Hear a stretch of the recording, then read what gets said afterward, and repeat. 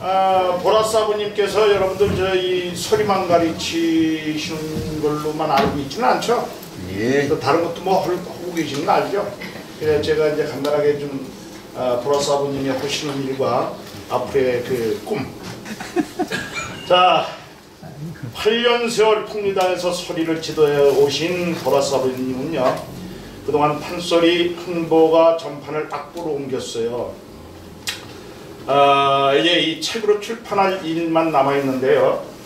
그보다 먼저 풍류당에서 지도해온 그 남도미녀 육자백이 한타령이며 단가 그리고 판소리 춘향가 수궁가 신청가 적벽가 흥보가 등 주요 대목 가사와 악보집을 풍리당 교본으로 출간할 준비를 하고 있습니다.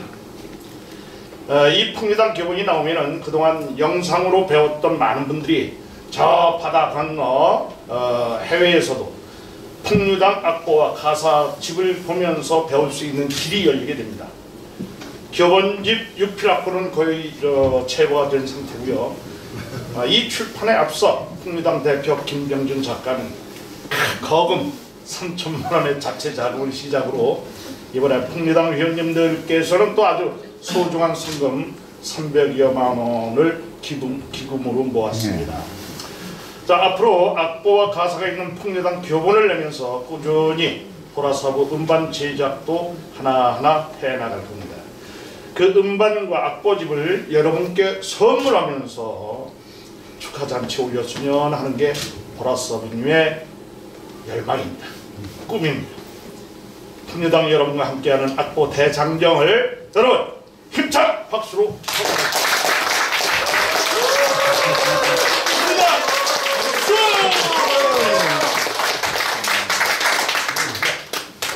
자 다시 발표 무대 이어가야겠죠? 멋진 소리 번님이 모인 화요풍류당은요 낮에 만나는 소리 번님들입니다. 남도민요의 기본이라 할 성주풀이 남한산성 진도아리랑을 화요풍류당 소리로 들어보시겠습니다. 자 보라서부님의 북반주와 손성열 부원장의 장구반지로 듣겠습니다. 힘찬 박수! 부탁해요